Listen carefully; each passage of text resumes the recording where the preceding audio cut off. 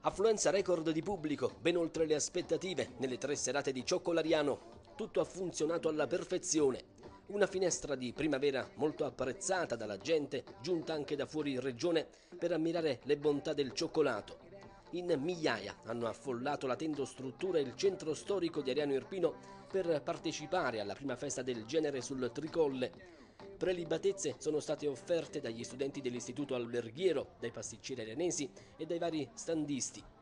Tra i diversi prodotti e tra le svariate declinazioni con le quali il cioccolato è stato proposto, i dolci senza glutine a disposizione delle persone celiache. Grande curiosità ha destato il tricolle, una vera e propria scultura che rappresentava i tre colli di Ariano, ma che sotto celava una sorpresa pasticcera. Abbinamenti raffinati ed atmosfera elegante ovunque, degustazioni abbinate a diversi tipi di dolci al cioccolato con vini e liquori. Interesse anche per la mostra a cura dell'associazione DNA delle locandine d'epoca sul cioccolato, un percorso su come si è evoluta la grafica nell'ambito del settore dolciario. Non sono mancati momenti di spettacolo per i bambini, animazione itinerante e musica.